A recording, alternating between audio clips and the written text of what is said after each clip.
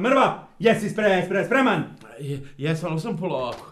Ništa se ne boj, on će za, začas iz, izleti van. Ali pazi, budi miran da se ja ne bi za, za, za zajebo. Što da se ne bi zajebao? Pa da ti mjesto zuba ne izvadim je jezik. A evo, sad me još ustraši. E, to ti je za ono, a bužim, pr pružim. skin, skin, skin tu krpu. Ajde, ajde, skin krpu. I ništa ti ne, ne skidaj, bac tamo. Tako, aj pazi. Aj, zini, zini, aj. Znači, zino, zini, to. Aj, to, aj. A! Čekaj, taj, taj, taj, taj, mrva, mrva, mrva. Ne, ne, nemoj, nemoj tresti glavom, ne mogu ga uvati, boži čovječe. A razumiješ? vola kad god ideš boli. Joj, da ne bol boli, ne bi ga trebali va, va, va, vaditi. Jesi ti ikad bio kod, zu, kod zu, zu- zubara? Nisam nikad. Pa da, da, da, normalno, da, da si bio, ne bi ti zubi bili crni ko zrna pepečeni ku, kukuruza. Pa, pa, pacijent mora biti mirmiran kod do, do doktora. O, nisi ti doktor.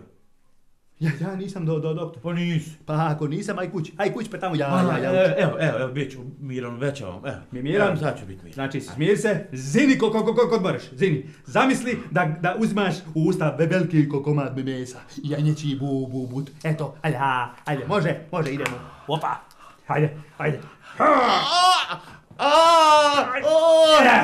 Nemoj me mrdat gla- gla- glavom, re- rekao sam ti. Evo, e, bit ću ja miran. Ti ćeš biti miran. Hajmo, te tresaš tu. Uh, aj sad čekaj tu, ne mrdaj, samo da zovnem asi, asi, se, se, sestru medicinsku. Aj sad čekaj.